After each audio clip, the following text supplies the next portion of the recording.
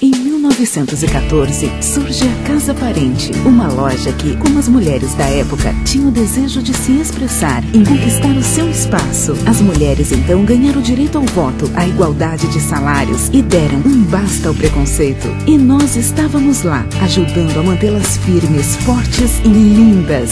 Se a nossa história se confunde com a própria história da mulher, não é por acaso. Parente, 95 anos. A beleza presente em todas as conquistas.